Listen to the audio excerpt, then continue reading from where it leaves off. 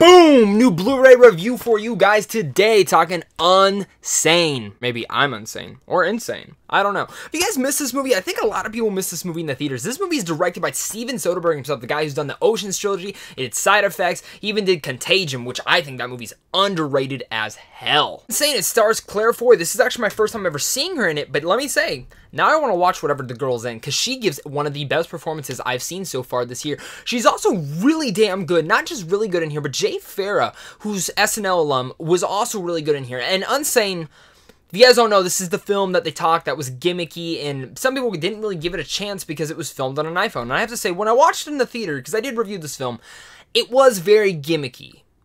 But it wasn't. It didn't come across that way, and I really appreciate it. It did a little bit jarring at first, but once you kind of get into the story, you totally forget it's an iPhone. Yes, if you start thinking about it, you're like, yeah, this is an iPhone. But I have to say, bringing this home, popping it in, watching it on Blu-ray is completely different. Yes, you can tell it's filmed differently.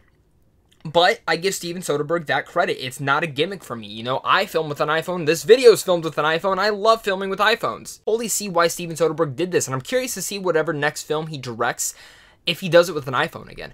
And given we did get Tangerine a couple years back by the guy who did Florida Project, I think his name's Sean Baker, he also directed the film and used an iPhone camera. So it is possible for more directors to keep using this. But Unsane uses that camera gimmick in a way that, again, I'm saying gimmick, but, but it's not a gimmick. It it works for the story because the whole film is, you're pretty much trying to tell, is this girl crazy or is it not? Because she ends up in a psychiatric ward and you're like, what, where, why, why is this happening? And the way and the twists and turns that this film develops are so unique to say the least. And watching it again, it still holds you on the edge of your seat. And using the iPhone, you can totally tell in the Blu-ray, they really enhance the different coloring effects that they have in the film that I I remember being not as good on the big screen, but going into a smaller screen on a 55 inch Blu-ray, just watching on that 55 inch TV, it, it really works better on a smaller screen, if I'm being honest. I thoroughly enjoyed this film way more the second viewing than I did in the theaters. Liked it a lot in the theaters, but now this film, I'm kind of on the verge of loving it. But if I am being honest, this is a Blu-ray review, and I have to be honest, I'm very disappointed in the bonus features part. I thought the bonus features would be 10 times better, and let me tell you, they are just eh. I thought the bonus features could be better. There's only like insanity thing, and it's it's not the biggest thing. There's no really deleted scenes. There's nothing to really gravitate to to explore more of this world. And that's what kind of sucks because I wanted more behind the scenes kind of stuff going into the featurettes and talking about Steven Soderbergh's choice to use an iPhone. You give it, I can go on YouTube and look this up, but I wanted to see more of the behind the scenes stuff. And I, I think this would have been a cool film if he had someone filming him like as a bonus feature and showing everything behind the scenes of how he used the iPhones, how he did that, because it is a very intriguing aspect to see. And I wish the film would have carried that. I wish the Blu ray would have carried that, and I think it would have made for a better Blu-ray. But I still, if you missed this film in theaters, I can't recommend enough. Go pick it up. It's a fantastic film, and I wanted to revisit Unsane again because it is such just a special film.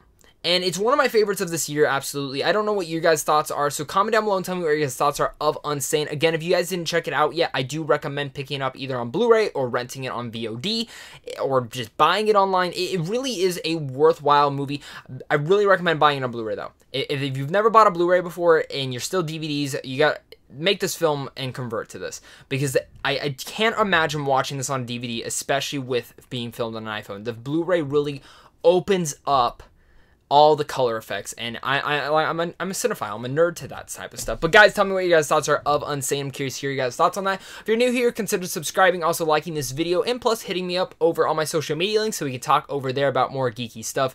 Then go hit up Sandwich John Films as well because over there you guys can get into advanced movie screens check out some movie news and movie reviews. But guys my name's Zach. That's Unsane. I might be a little insane and you guys all have a great rest of your day